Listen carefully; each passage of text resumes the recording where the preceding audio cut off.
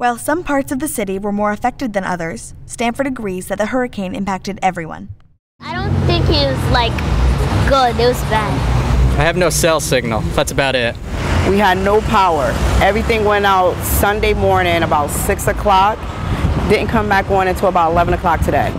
Well, my power has been out for exactly two days. I've had no power since uh, Sunday night, and I woke up and then water was just seeping through, like seeping through the walls.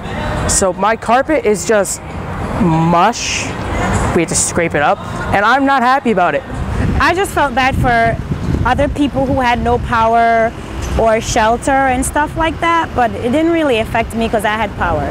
A lot of my food went to waste, so I had to throw away a lot of food. It made me sad because some people might die in the hurricanes. I would like to say that they need to buy generators for all the urban areas that are affected. And if someone from the power company is watching, please, please fix my power and I will give you a hug. Yeah, you guys need to do better when we get bad weather. Try to figure out something that uh, we don't get any outages like we just had. Make sure uh, the people are safe because something can happen.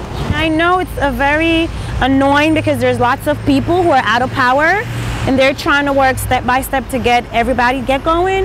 But to me, it's it's God, He's in control, and it's all a sign. Get the power back on.